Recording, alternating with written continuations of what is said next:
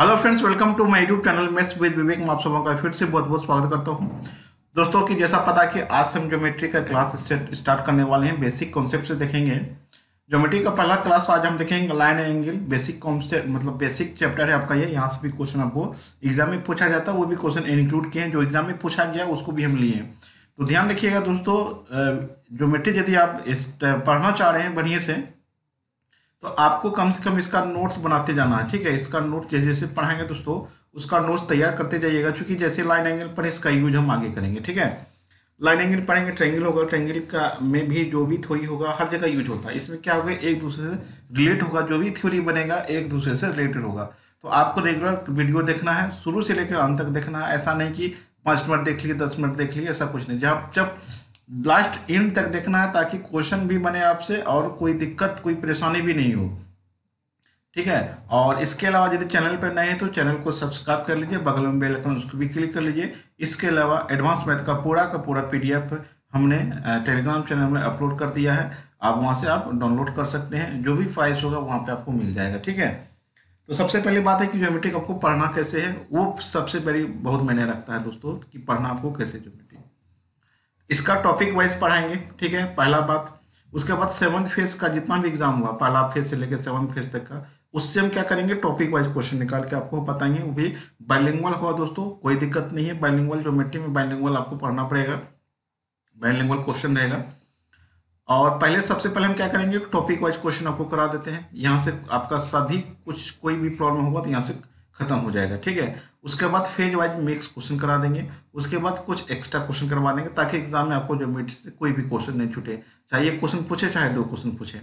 और ध्यान रखिएगा दोस्तों कि पूरी वीडियो मतलब पूरा जितना भी टॉपिक बताएँगे, सारी टॉपिक को आपको देखना है। उसका कॉपी में आपको नोट्स जब तक आप तैयार नहीं कीजिएगा मतलब अब हम पढ़ाने से वीडियो देखने से नहीं होगा, उसको कॉपी में आपको लिखना पड़ेगा। जब तक आप लिखिएगा नहीं, तब तक आपको ज्योमेट्री क्लियर नहीं होगा। ये, ठीक है, इतना बात को ध्यान रखिएगा। इसको कॉपी में आपको नोट करना होगा। आप डेली कॉपी में नोट बनाइए और आगे आप देखते जाइए, एक बार, दो बार वीडियो देखिए।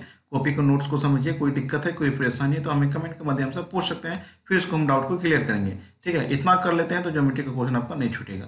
तो स्टार्ट करते हैं आज का टॉपिक आपका, जो टॉपिक आपका लाइन एंगल देखते हैं इसमें क्या क्या आपको क्या क्या चीज़ का ज़रूरत पड़ेगा। ध्यान रखिएगा दोस्तों, इसमें आपको क्या क्या चीज़ का ज़रूरत पड़ेगा। याद रखने का मतलब याद करने का रटने की ज़रूरत नहीं है, सिर्फ़ समझना है आपको कहाँ कहाँ क्या हो सकता है। एक बार आप नोट बनाइए ना, आपको हंड्रेड परसेंट आपका कल कल आपको ऑटोमेटिक क्लियर हो जाएगा ये। अब देखिए, सबसे पहले क्या है कि इसको हम पॉइंट करते हैं, ये जैसे ये पॉइंट हो गया, ये पॉइंट हो गया। अब देखिए, यहाँ पे जैसे ये हम ये ये खींच लिए। एक एरो इधर दिए, एक एरो इधर दी अब एक लाइन यहाँ पे खींच लेते हैं, ये हो गया, और एक ये खींचते हैं। ये तीनों में डिफरेंस देखिए क्या है। इसको हम रेखा, ठीक है, इसको हम क्या कहते हैं लाइन कहेंगे। ठीक है, इसको क्या कहेंगे हम लाइन कहेंगे। ये क्या हो गया हमारा लाइन हो गया। इस लाइन का मतलब हो गया कि दोनों एंड हम अंत तक घिस सकते हैं। इसको मतलब अनलिमिटेड इधर भी बढ़ा सकते हैं, इधर भी बढ़ा सकते हैं, यहाँ तक इधर भी बढ़ा सकते हैं। मतलब जहाँ तक आपको जाएगा ये अनलिमिटेड इधर, आप बढ़ा सकते हैं, इधर भी एरो इधर देके बढ़ा सकते हैं। इसको हम क्या कहेंगे? लाइन कहेंगे, ठीक है? इसको हम क्या कहेंगे? लाइन कहेंगे। अब देखिए इसको क्या कहेंगे? ये आपको देखिए क्या है, ये आपका ये एक साइड एरो है एक दूसरा आपका कुछ नहीं है। इसका मतलब है कि इस साइड यहीं तक रहेगा, इस एरो को हम आगे बढ़ा सकते हैं। ये अब देखिए इन पॉइंट यहाँ आपका ये है तो ये आगे हम बढ़ा सकते हैं। सिर्फ़ आगे जहाँ इधर एरो होगा, ये इसको हम बढ़ा सकते हैं, इसको हम क्या कहेंगे? रे कहेंगे। ठीक है? रे कहेंगे, इसको किरण कहते हैं, इसको क्या कहेंगे हम? किरण कहेंगे। जैसे सूर्य की रोशनी मान कर चलिए, यहाँ पे ऐसे ऐसे किया हुआ है। एक रे इधर जाकर लिमिटेड बढ़ सकता है कि जहाँ जहाँ मन तहाँ जा सकता है ठीक है? जहाँ जा सकता है, इसको हम क्या कहेंगे? रे कहेंगे। मतलब एक आपका ये इन पॉइंट है, यहाँ से मतलब ये आपका जो पॉइंट है, यहाँ से आगे बढ़ सकता है, पीछे नहीं जाएगा ये, आगे जा सकता है जहाँ से एरो है। अब देखिए, नहीं, इधर एरो है नहीं, इधर एरो इसको मतलब क्या कहेंगे? इसको लाइन सेगमेंट कहते हैं। क्या कहें? लाइन सेगमेंट ये फिक्स हो गया। इसको क्या कहेंगे? लाइन सेगमेंट कहेंगे, ये मतलब फिक्स हो गया। जैसे मान के लिए दे दिया, ये चार सेंटीमीटर हो गया। ये फिक्स हो गया। नहीं, इधर बढ़ेगा, नहीं, इधर बढ़ेगा। मान के इतना घिर दिया आठ सेंटीमीटर हो गया। मतलब ये दोनों साइड आपका क्या हो गया? आपको फिक्स हो गया।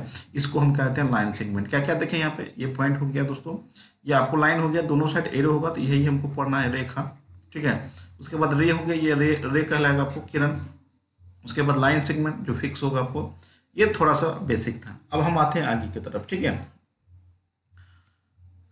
अब देखिए यहाँ पे लाइन क्या होगा, ठीक है? जैसे मान के चले ये, एक ये लाइन हो गया और एक आपको ये लाइन होगा, ऐसे क्रॉस करेगा।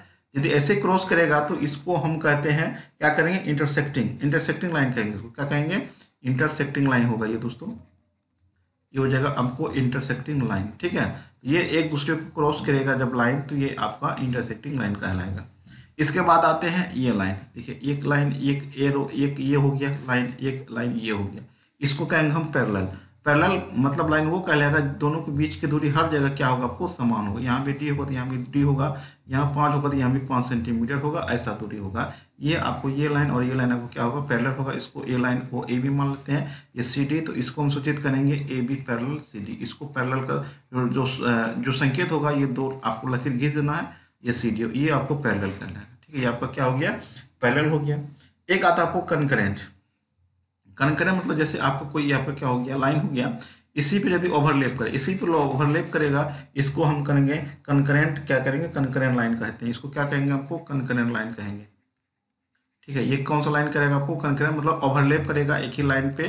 तो कोई, मान लो दो बार, जब चार बार, पाँच बार लाइन खींच रहा है, इसको हम क्या करेंगे? ओवरलेप करेगा तो हम क्या करेंगे? कनकरेंट लाइन कहेंगे।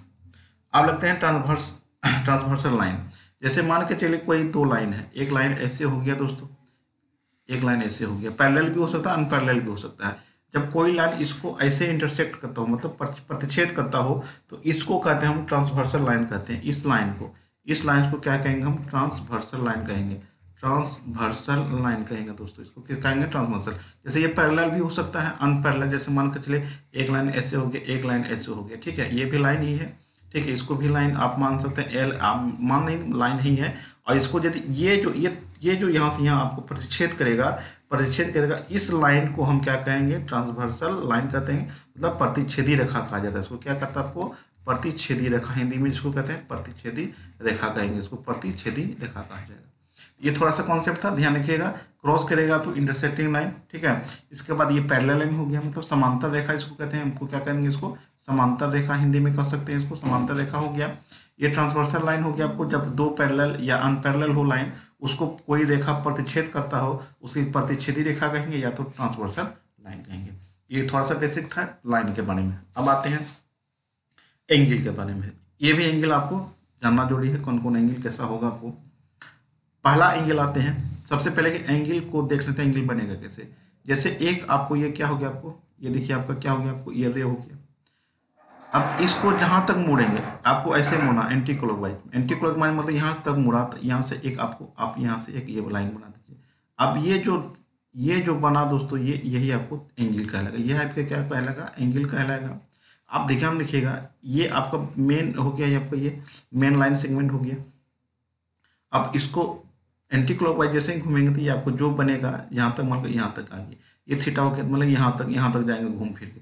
ये भी आपको थीटा होगा तो इसी तरह, इस तरह से हम जाएँगे, ठीक है? एंटी क्लॉक की तरफ़ हम जाएँगे तो ये आपका क्या हो जाएगा, आपको थीटा कहलाएगा, ठीक है?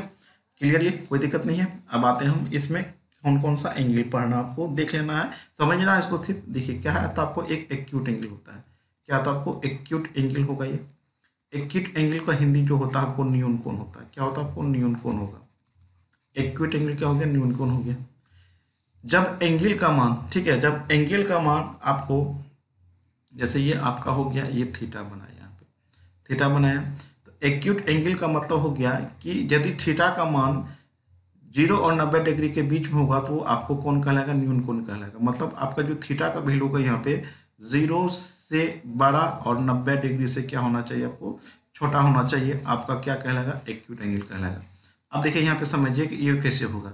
जैसे ज़ीरो से बड़ा, ज़ीरो से बड़ा ये हो गया थीटा और नब्बे डिग्री से छोटा। नब्बे डिग्री से छोटा मतलब हो गया आपको नब्बे डिग्री से आपका क्या हो गया? आपको ये छोटा हो गया। तो यही जब दोनों को मिला दिए तो थीटा बीच में हो गया। नब्बे से छोटा भी हो गया और ज़ीरो से बड़ा भी हो गया। तो एक्यूट एंगल हो गया आपको। कौन सा मान हो गया? न्यून कौन जिसका मान थीटा मतलब जिस थीटा जिस थीटा का मान ज़ीरो और नब्बे डिग्री के बीच होगा, वो आपको क्या कहलाएगा? आपको एक्यूट एंगल कहलाएगा न्यून कौन कहलाएगा। अब आते हैं राइट एंगल राइट एंगल आपको पता ही है। राइट एंगल क्या होता है आपको? राइट एंगल मतलब हो गया समकोण। पूरा पूरा क्या हो जाएगा आपको? समकोण हो जाएगा। क्या हो जाएगा? पूरा का पूरा आपका क्या हो गया? समकोण हो गया। समकोण का मतलब हो गया मतलब जिसका मान आपको नब्बे डिग्री हो जिस कोण का मान आपका क्या हो गया? देखिए, आपको थीटा इधर से इधर से ले जाना है। ये थीटा का मान कितना हो गया? नब्बे डिग्री। यही आपका क्या कहलाएगा? समकोण कहलाएगा। राइट एंगल कहलाएगा। क्या कहेगा आपको? राइट एंगल कहलाएगा। ठीक है? थीटा का मान कितना हो गया? नब्बे डिग्री। अब आते हैं हम अगला। अगला कौन सा है आपको? एक्विट के राइट हो गया। अब आते हैं ऑप्टियूज एंगल ठीक है? क्या हो गया आपको? ऑप्टियोस एंगल देखते हैं यहाँ पे। नोट करते जाना है। ऑप्टियस एंगल ऑप्टियस एंगल का हिंदी होता है आपको अधिक कोण। क्या हो गया? अधिक कोण हो जाएगा आपको। ठीक है? अधिक कोण हो गया। अब देखिए, इसका जो वैल्यू होगा अब देखिए इसका जो वैल्यू होगा अधिक कोण का जो वैल्यू होगा, जो इसका जो थीटा बनेगा, कहाँ का बनेगा, ये थीटा मान के चलिए थीटा है आपको, ठीक है? इसका जो वैल्यू होगा, आपका 90 डिग्री से बड़ा और 180 डिग्री से छोटा होगा मतलब 90 डिग्री से बड़ा और 180 डिग्री के छोटा होगा, वो आपको क्या कहलाएगा, आपको ऑप्टिक एंगल कहलाएगा मतलब 90 डिग्री से बड़ा और 180 डिग्री से छोटा, वही आपको क्या कहलाएगा, आपको ऑप्टिक एंगल कहलाएगा अधिक कोण कहलाएगा, ठीक है? तो थीटा का मान किसके किसके बीच वेरी करेगा ये? 90 और 180 के बीच वेरी करेगा। अब आते हैं चौथा, ठीक है? अब चौथा क्या बचा आपको? स्ट्रेट लाइन, ठीक है? स्ट्रेट लाइन देखते हैं यहाँ पे, स्ट्रेट लाइन जो होगा, स्ट्रेट लाइन स्ट्रेट लाइन जो होगा वो कितना बनाता? है ये स्ट्रेट लाइन होगी। ये मानते हैं स्ट्रेट लाइन है, ये जो एंगल बनाएगा, ये जो एंगल बनाता है ये 180 डिग्री बनाता। है ध्यान रखिए कितना बनाएगा? 180 डिग्री बनाएगा। तो क्वेश्चन जैसे आपको पूछा जा सकता है कैसे? एग्ज़ाम्पल में देख लीजिए, जैसे ये लाइन हो गया। एक लाइन ये हो गया। मान लो ये थीटा वन दिया होगा, ये थीटा टू निकालना होगा तो दोनों का योग कितना होगा आपको? Theta one plus theta two होगा कितना होगा? 180 डिग्री होगा। कितना होगा? 180 होगा। एक स्ट्रेट लाइन कितना, कौन का बनाता है आपको? 180 डिग्री बनाता है।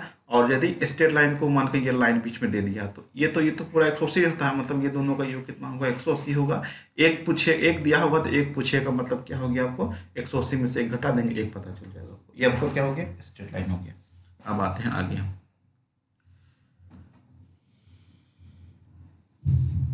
अब आते हैं रिफ्लेक्स एंगल ठीक है? एक होता है आपको रिफ्लेक्स एंगल ये क्या हो गया आपको? एक आपको आएगा रिफ्लेक्स एंगल तो रिफ्लेक्स एंगल देखिए क्या होता है? मान के चलिए आपको ये देखिए, ये ये हो गया। ठीक है तो एंगल हमको इधर से ले जाना है ना? इधर से यदि हम यहाँ तक आ जाए, ऐसे ऐसे खींचा जाए, ये खींचा जाए तो ये जो थीटा बनेगा, ये आपका क्या कहलागा आपको रिफ्लेक्स एंगल रिफ्लेक्स एंगल जो होगा, वो 180 डिग्री से बड़ा होगा और 360 डिग्री से क्या होगा आपको?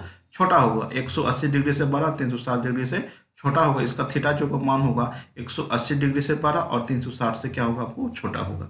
ये आपको क्या कहलाएगा? रिफ्लेक्स एंगल कहलाएगा। अब इसे हम आते हैं कंप्लीट एंगल ठीक है थोड़ा थोड़ा देख लेते हैं बेसिक है। ठीक है, जानना ज़रूरी है, कभी एग्ज़ाम में ज़रूरत पड़ेगा आपको, ऐसे ज़रूरत पड़ेगा ही।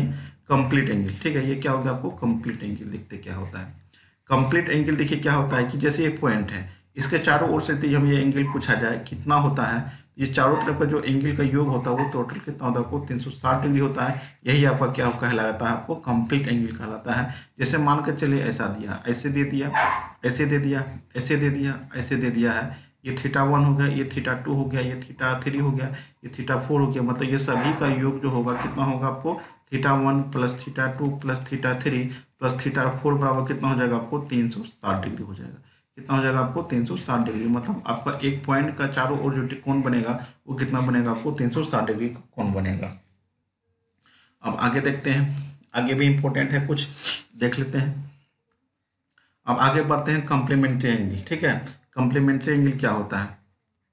Complementary angle complementary angle complementary angle का मतलब हो गया आपको पूरक कोण। कौन हो गया आपको?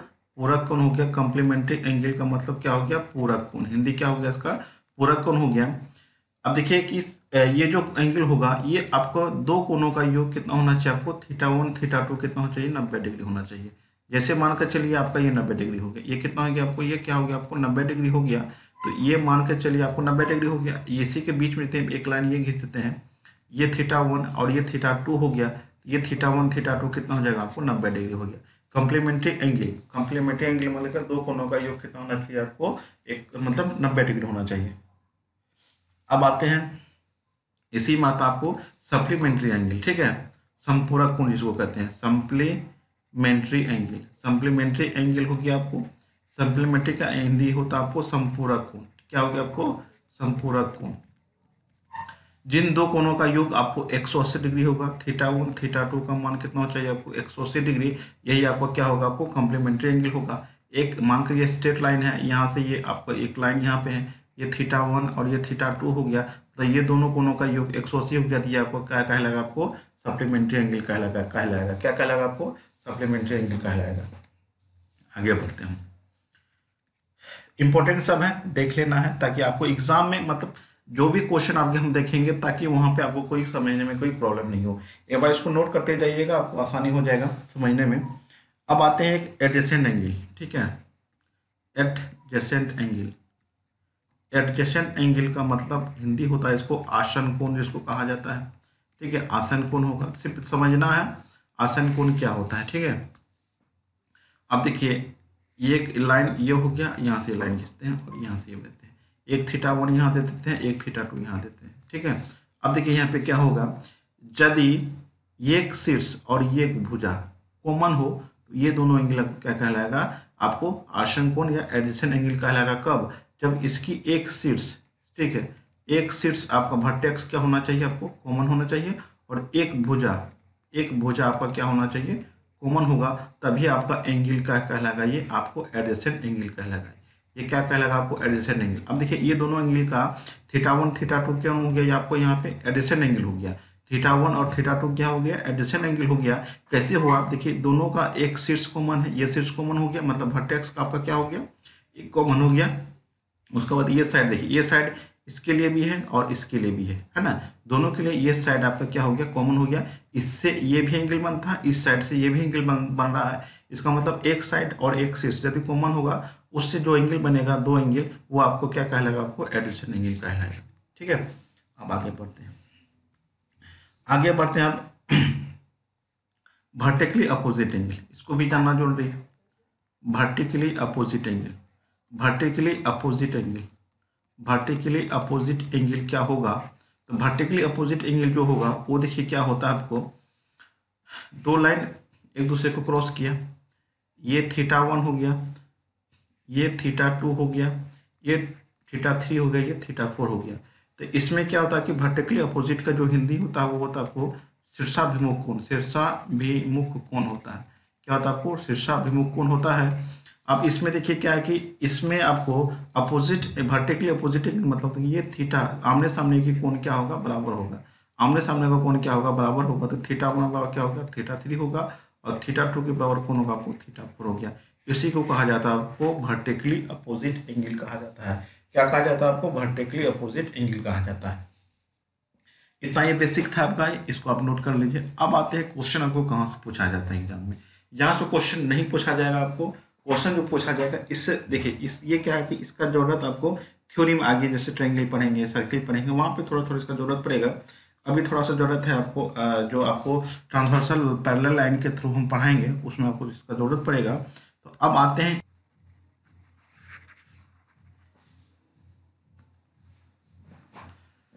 चलिए, अब देखते हैं हम प्रतिच्छेद रेखा, जब कोई पैरेलल लाइन को कोई एक रेखा प्रतिच्छेद करता हो तो उससे सवाल आपको यहाँ से पूछा जाएगा। मतलब आपका यहाँ पे क्या आपको एम बी है, ये आपको ध्यान रखना, ठीक है? ये एम है, ठीक है? इसको हम पढ़ेंगे अच्छे से। जैसे कोई दो पैरेलल लाइन है, जैसे मान कर चलिए एक लाइन ये हो गया, एक लाइन ये हो गया और ये लाइन एक ये हो गया। इसको एल मान लेते हैं, इसको एम मान लेते हैं, ठीक है? और ये त्रिय क्षेत्र के से प्रतिच्छेद करता है। जैसे इसको प्रतिच्छेद करेगा तो यहाँ से थ्योरी बनता है, उसको देखेंगे हम। इस एंगल को एक मान लेते हैं, इसको दो, इसको तीन, इसको चार, इसको पाँच, इसको छः, इसको सात, इसको आठ कर लेते हैं। इसको हम रिवाइज भी करेंगे। जब मतलब आपका पैरेलल लाइन हो गया एल पैरेलल लाइन कितना हो गया? एम के बराबर हो गया। और ये एक लाइन इसको प्रतिच्छेद प्रतिच्छेद कर रहा है, ठीक है? ठीक है? प्रतिच्छेद कर, इसको ए बी मान लेते हैं सबसे अच्छा होगा। ए बी हो गया, ये आपका क्या हो गया? आपको सी डी हो गया, इसको एल एम कर लेते हैं, ठीक है?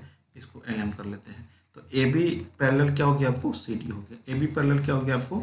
सी डी हो गया यहाँ पे। अब यहाँ से क्या क्या एंगल आपको देखना है। सबसे पहले हम आते हैं कोरस्पेंडिंग एंगल इसका जो जो मेन है आपका, ये आता है आपका कोरस्पोंडिंग एंगल ठीक है? यहाँ पे देखेंगे एक कोरस्पोंडिंग एंगल जो होगा। इसको हिंदी में कहते हैं आपको संगत कोण। यहाँ पे देखना है कि इसमें कौन सा एंगल किसके बराबर होता है, ये ज़रूरी है। अब इसमें संगत कौन कौन होगा? जैसे दो हो गया, इसका संगत कौन हो जाएगा? छः दोनों क्या होगा? आपको बराबर होगा। कौन दे बराबर क्या हो जाएगा? कौन छः हो जाएगा। इसके बाद कौन एक और कौन पाँच? कौन एक और कौन पाँच? आपका क्या हो गया? बराबर हो जाएगा। उसके बाद कौन चार और कौन आठ? ये भी आपका क्या हो जाएगा? बराबर कौन चार, कौन आठ बराबर हो जाएगा। उसके बाद कौन तीन और कौन सात? ये आपका क्या हो जाएगा? आपको बराबर हो जाएगा। इसी को क्या कहेंगे हम? आप क्या कहेंगे इसी को? इसी को कोरस्पोंडिंग एंगल कहते हैं। कोरस्पेंडिंग एंगल आपस में क्या होगा आपको? बराबर होगा। कौन कौन एंगल हो गया? यहाँ से क्लियर हो गया। अब नेक्स्ट दूसरा देखते हैं। कोरस्पेंडिंग एंगल के बाद देखते हैं आपको। कोरस्पेंडिंग एंगल हो गया। दूसरा आपको एकांतर अल्टरनेट इंटीरियर एंगल ठीक है? Alternate alternate interior angle interior angle ठीक है? अल्टरनेट इंटीरियर एंगल का मतलब हो गया आपको एकांतर कोण। ये क्या हो जाएगा आपको? एकांतर कोण हो जाएगा। तो इसमें देखिए एकांतर कोण कौन कौन होगा? कौन किसके बराबर होगा, ठीक है? एकांतर कोण का मतलब हो गया आपको कि जैसे आपका ये आपका तीन हो गया और ये छः हो गया। ये दोनों एंगल क्या होगा? आपको बराबर होगा। कौन तीन बराबर क्या होगा? कौन छः हो जाएगा। उसके बाद कौन चार बराबर कौन हो जाएगा आपको पाँच। ये आपका कौन चार बराबर क्या हो जाएगा आपको कौन पाँच हो जाएगा ये आपका क्या कहलाएगा आपको? अल्टरनेट इंटीरियर एंगल कहलाएगा। ये आपका क्या हो जाएगा आपको? एकांतर मतलब अल्टरनेट इंटीरियर एंगल एकांतर कोण हो गया दूसरा हो गया। अब तीसरा पे आते हैं। ठीक है? तीसरा आते हैं। Vertically opposite angle vertically opposite angle अभी तुरंत आपको बताए थे वर्टिकली अपोजिट मतलब हो गया। वर्टिकली अपोजिट एंगल मतलब हो गया आपका आमने सामने का कोण क्या होगा आपको? बराबर होगा। आमने सामने कौन हो गया, कौन एक हो गया मतलब ये लाइन ये लाइन ये लाइन क्रॉस कर रहा है मतलब एक कोण एक बराबर कोण एक बराबर कोण कौन हो जाएगा, आपको चार हो जाएगा कोण दो बराबर कितना हो जाएगा आपको कोण दो बराबर कितना हो जाएगा कोण तीन हो जाएगा, ठीक है कोण छः बराबर कितना हो जाएगा आपको कोण सात हो जाएगा कोण पाँच बराबर क्या हो जाएगा आपको कोण आठ हो जाएगा, ठीक है यह हो गया वर्टिकली अपोजिट एंगल हो गया। एक फिगर और ड्रॉ कर लेते हैं, ताकि फ्रेश हो जाएगा, देखने में आसान लगेगा। एक, दो, तीन, चार, पाँच छ सात। ये एंगल का मान माने हैं यहाँ पे। वर्टिकली अपोजिट होंगे चौथा देखते हैं। ठीक है? चौथा देखिएगा। चौथा भी आपका इंपॉर्टेंट है। इसमें क्या होता है कि सम ऑफ़ इस interior angle of each side ठीक है? Sum of interior angle interior angle of each side ये इंपॉर्टेंट है, इसको याद रखना है। क्या है कि इसमें देखिए इंटीरियर एंगल एक ये हो गया और ये हो गया। ये इस साइड का है तो इस साइड का दोनों कोनों का योग आपको एक सौ अस्सी डिग्री होगा। इसको याद रखिएगा। ये ज़्यादा इंपॉर्टेंट ये इसका यूज़ ज़्यादा हो जाएगा आपको, ठीक है? अब उसके बाद क्या हो जाएगा? कौन तीन और कौन पाँच का योग कितना हो जाएगा कौन तीन प्लस कौन पाँच कितना हो जाएगा आपको? एक सौ अस्सी डिग्री हो जाएगा। कितना हो जाएगा आपको? 180 डिग्री हो जाएगा। ये sum of interior angle of इस साइड कितना हो जाएगा आपको? कौन मतलब 180 डिग्री होता है। मतलब ये अंदर वाले कौन जो होगा, योग कितना होगा? एक साइड का मतलब इच साइड मतलब प्रत्येक साइड इस साइड का आपको एंगल का योग कितना हो जाएगा? आपको एक हो जाएगा और इस साइड का योग कितना हो जाएगा? आपको ए भी एक सौ अस्सी डिग्री हो जाएगा। आप आते हैं एक, पाँचवा देख लेते हैं। ठीक है? बस इसी से आपका हो जाएगा सारा। बस इतना ही देखना है। बाकी बात और इसमें कुछ देखना भी नहीं है। ठीक है? अल्टरनेट एक्सटीरियर एंगल ठीक है? अल्टरनेट एक्सटीरियर एंगल तो कौन एंगल होगा बराबर? एक्सटीरियर एक एक हो गया और एक क्या हो जाएगा आपको? एक आठ हो जाएगा। ये दोनों क्या हो जाएगा आपको? बराबर हो जाएगा। एक कौन दो और कौन आपका साथ जो बाहर वाला एंगल होगा, उल्टा। जैसे दो का सामने नहीं होगा, उल्टा। वो भी बाहर में। मतलब दो भी बाहर है, सात भी बाहर है, बराबर हो गया, हो जाएगा। कौन दो बराबर कितना हो जाएगा आपको? कौन? आपका ये आपका इतना थ्योरी था इसका, इससे रिलेटेड क्वेश्चन बनेगा। ठीक है? एक बार फिर से हम रिवाइज कर देते हैं, कैसे कैसे कौन सा एंगल क्या करना आपको, ठीक है? एक लाइन आप खींच दीजिए, ऐसे हम लाइन खींच लिए, ठीक है? अब देखिए यहाँ पे ऐसे कर दिए। अब देखिए, सिर्फ़ ध्यान रखना है कि ये एंगल ये एंगल का योग कितना होता है एक सौ अस्सी होता है। ये एंगल ये एंगल क्या होगा? बराबर होगा। ये एंगल ये एंगल बराबर होगा। ये एंगल ये एंगल बराबर होगा। ये एंगल ये एंगल बराबर होगा आपको। ठीक है? इतना याद रखिएगा। तो ये दोनों कोनों का योग कितना होगा? 180 होगा, ठीक है? 180 होगा। ये दो भी दोनों कोनों का योग कितना होगा? 180 होगा। ये कौन ये कौन आपको आपस में क्या होगा? बराबर होगा। ये कौन ये कौन आपस में बराबर होगा। ये कौन और ये कौन संगत कौन मतलब कोरस्पेंडिंग ये कौन ये कौन बराबर होगा। ये एंगल ये एंगल बराबर होगा आपको, ठीक है? ये एंगल ये एंगल आपस में बराबर होगा। ये एंगल और ये एंगल आपस में बराबर होगा, ठीक है? इतना भी आपको एक फिगर लेके आपको अपने से एक बार क्या करना है? एडजस्ट करना कि कौन एंगल कैसे होता है, ठीक है? तो ये आपका एकांतर कौन हो गया, ये एंगल ये एंगल आपस में बराबर एकांतर कौन बाह्य एंगल मतलब बाह्य एक्सटीरियर एंगल जो होगा, वो क्या होगा? ये बाहर में है, ये बाहर में, दोनों बराबर होगा।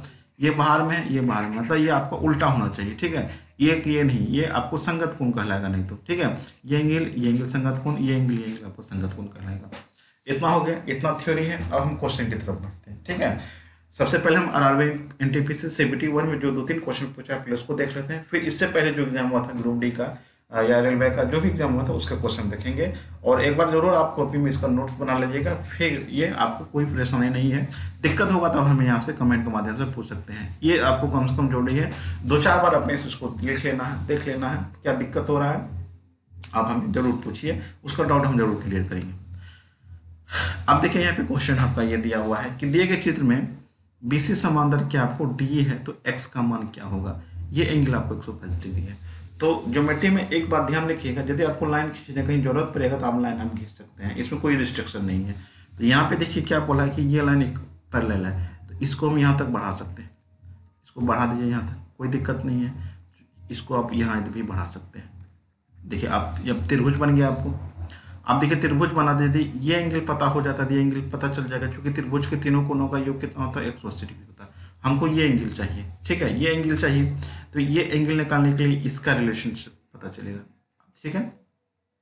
अभी क्या बताए थे? जब लाइन पैरेलल होते हो, ये आपको कोस्पेंडिंग एंगल ये एंगल क्या होगा? आपको बराबर होगा। दो चार तरीके से बना सकते हैं, हम बता देते हैं और भी तरीके से, किसी भी एंगल से बना सकते हैं। जैसे ये एंगल ये एंगल अपोजिट होगा। ठीक है, ये एंगल एंगल का युग एक सौ अस्सी डिग्री होगा तो। आप उसे भी बना सकते हैं, कोई परेशानी यहाँ नहीं है, सारा एंगल सब बना सकते हैं, ठीक है? हम सब तरीके से आपको दिखा देते हैं। कॉस्पेंडिंग मतलब ये यदि एक सौ बाईस होगा तो ये भी कितना होगा? एक सौ बाईस होगा। स्ट्रेट लाइन का योग कितना होता है? एक सौ अस्सी होता है तो एक सौ अस्सी में एक सौ बाईस घटा दीजिए। एक सौ अस्सी में यदि हम एक सौ बाईस को घटा देते हैं, ये कितना आएगा आपको? अल्ठावन आएगा, ठीक है? ये एंगल मेरा कितना हो गया? अल्ठावन डिग्री हो गया। अल्ठावन हो गया तो अब तीनों कोनों का एक सौ अस्सी होगा तो एक सौ अस्सी में दोनों जोड़ कर घटा देंगे, कितना हो जाएगा? आठ आठ कितना हो गया? आपको सोलह हो गया, पाँच तीन आठ कितना हो गया? छियानवे हो गया। दोनों को घटा देंगे तो कितना हो जाएगा आपको? चौरासी डिग्री आपका आंसर हो जाएगा। ऑप्शन नंबर क्या हो जाएगा आपको? बी हो जाएगा। आंसर कितना हो जाएगा आपको? ऑप्शन नंबर आपका बी हो जाएगा। चौरासी डिग्री आपका आंसर हो जाएगा। इसका दूसरा तरीका हम देख लेते हैं। अब देखिए एक लाइन यहाँ से खींच लेते हैं। ये कितना? 122 होगा। एक त्रिभुज यहाँ से यहाँ खींच लेके त्रिभुज बन गया। वर्टिकली अपोजिट 122 होगा तो ये भी कितना होगा 122 होगा। अभी क्या पता है कि अंतर कोणों का कोण योग मतलब एक ही साइड का अंतर कोणों का योग कितना होता है? एक सौ अस्सी होता है। यदि 122 होगा तो ये कितना हो जाएगा? अभी तुरंत पता है कितना हो जाएगा? आपको अल्ठावन हो जाएगा। मतलब आपको ये दोनों कोनों होगा योग कितना होना चाहिए? एक सौ अस्सी होना चाहिए। यदि एक सौ बाईस को कितना होगा अल्ठावन होगा आठ दो दस पंद्रह सौ देगा। एक सौ अस्सी डिग्री हो गया। और त्रिभुज के तीनों कोनों होगा योग कितना हो गया? एक सौ अस्सी हो गया। एक सौ अस्सी में दोनों जोड़ कर घटा दीजिए, कितना हो जाएगा आपको? चौरासी हो जाएगा। ऐसे बना सकते हैं। आपका माइंड जहाँ सेटअप करे, जहाँ फ़र्स्ट टाइम अटैम्प्ट करे, वैसे बनाइए। कोई ज़रूरत नहीं है आपको, ऐसे ही बनाना है। आपको जो एंगल से जहाँ से एडजस्ट होता है, वहाँ से बना सकते हैं क्वेश्चन को। अगला क्वेश्चन देखिए। दी गई आकृति में ए बी और सी डी समांतर है। ए बी और सी डी क्या समांतर है?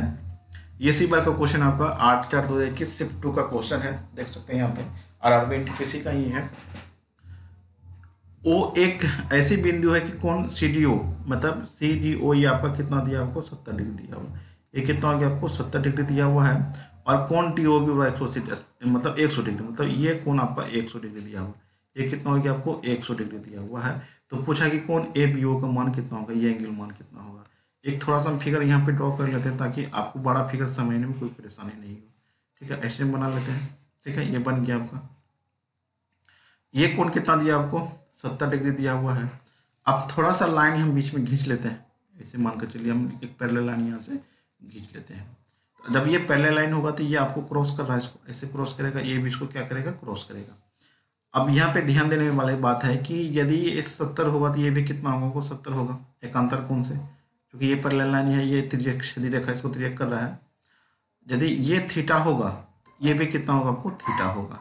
इसका मतलब ये हो गया, ये दोनों एंगल का योग कितना होगा? आपको 180 डिग्री होगा। कितना होगा? 180 डिग्री होगा। ठीक है? मतलब ये दो कोनों का योग 100 100 होगा क्योंकि यहाँ पे दिया हुआ है।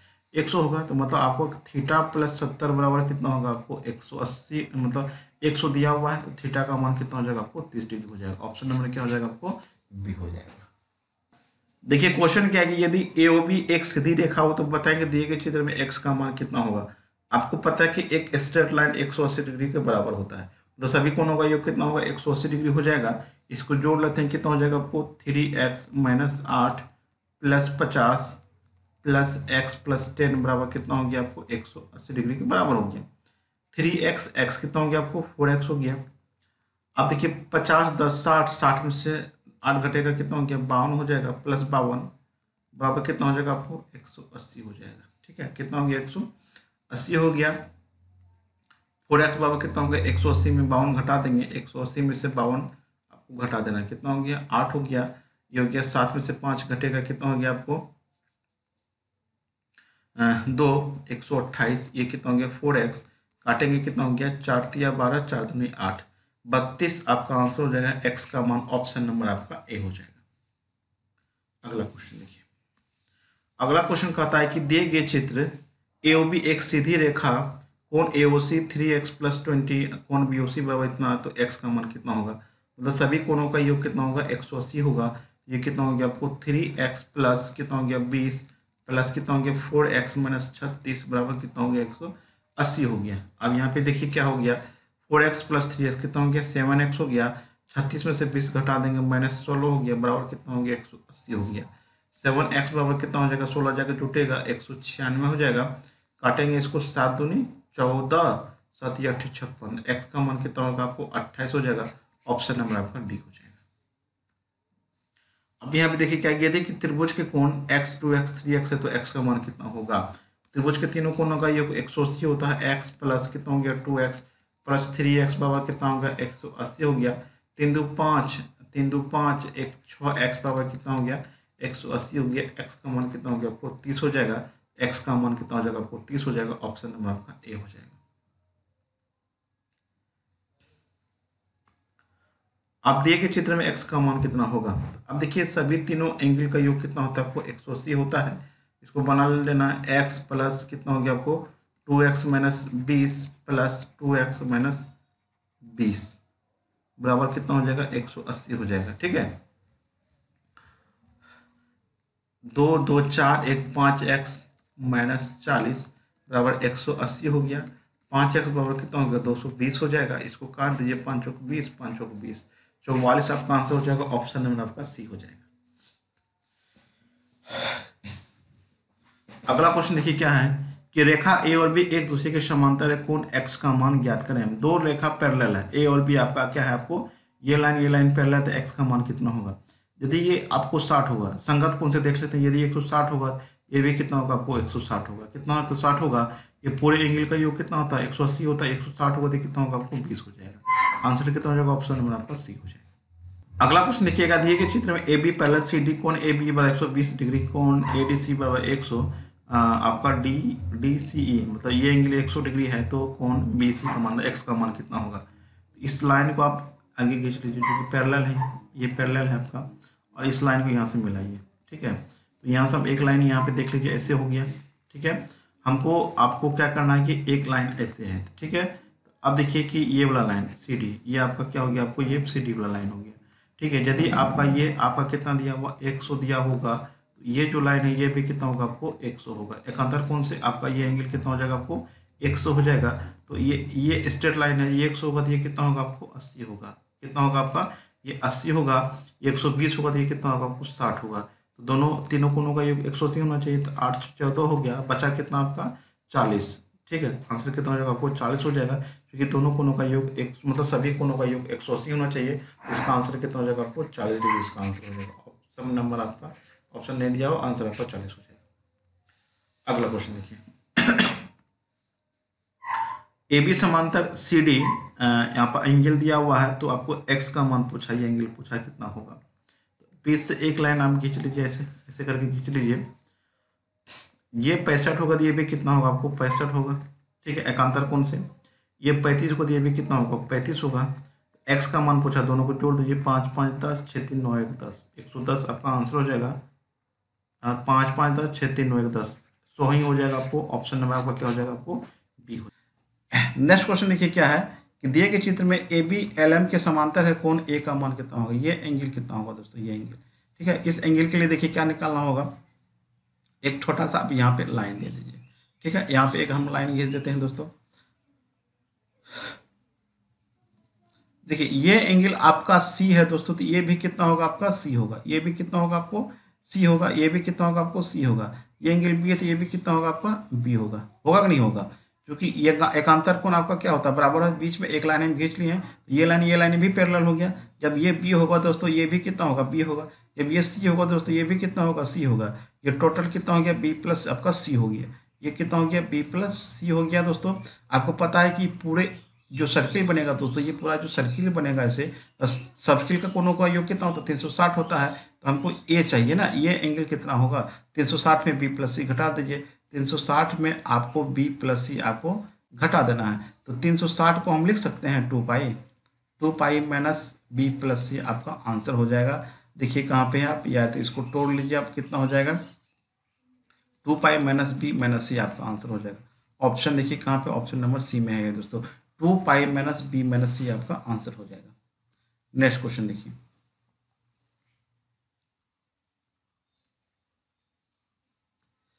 नेक्स्ट क्वेश्चन है कि, ए बी समांतर सी डी मतलब ये ये ये लाइन समांतर है तो कौन एक्स ओ वाई का मान कितना होगा? एक्स ओ वाई का मान कितना होगा? चलिए देखते हैं कितना होता है दोस्तों। अब देखिए, जब ये 125 होगा दोस्तों, ये कितना होगा? ठीक है? ये कितना होगा दोस्तों? चूँकि आपका ये 35 है तो ये कितना हो जाएगा आपको? 35 हो जाएगा। पता होगा आपको, होना चाहिए। एकांतर कोण आपका सब बराबर होता है, ये 35 हो जाएगा। ये कौन ये कौन, आपका क्या हो जाएगा? ये चूँकि ये लाइन बीच में खींचे हैं तो दोनों समांतर ये भी ये भी समांतर हो जाएगा। ये पैंतीस से भी कितना हो जाएगा आपको? पैंतीस हो जाएगा। जब ये 125 है दोस्तों तो ये कितना होगा? क्योंकि ये एंगल ये एंगल कौन होगा? ये कितना होता है? एक सौ अस्सी होता है। 180 में 125 घटा दीजिए दोस्तों। ये हो गया पाँच। ये भी हो गया पाँच। ये कितना हो गया दोस्तों? आपका पचपन हो गया। तो ये एंगल पचपन हो गया, ये कितना हो गया? पैंतीस हो गया। पूछा इसी का मान, पूछा एक्स वाई का मान कितना होगा? पचपन प्लस पैंतीस कितना होगा? पाँच पाँच, दस, नब्बे। आपका आंसर कितना हो जाएगा दोस्तों? आपका नब्बे हो जाएगा। आंसर कितना हो जाएगा आपको? नब्बे हो जाएगा। नेक्स्ट क्वेश्चन देखिए। नेक्स्ट क्वेश्चन है कि के एल समांतर है तो A degree plus B degree का मान कितना होगा? देखिए, आपको ए प्लस बी का मान पूछा कितना होगा? अब देखिए, जब ये एंगल आपका ए होगा तो ये भी कितना होगा? आपका ए होगा। जब ये बी हो तो दोस्तों, ये भी कितना होगा? आपको बी होगा। एकांतर कोण बराबर होता है तो ए प्लस बी कितना होगा? तो ए प्लस बी का मान पहले से दिया हुआ पैंतालीस, आंसर कितना हो जाएगा आपको? पैंतालीस हो जाएगा। ऑप्शन नंबर आपका क्या हो जाएगा? आपको सी हो जाएगा। ठीक है दोस्तों, आपको ये वीडियो कैसा लगा? हमें कमेंट के माध्यम से बताइए। पसंद आए तो लाइक शेयर ज़रूर कीजिएगा। मिलते हैं अगली वीडियो के साथ। Thanks for watching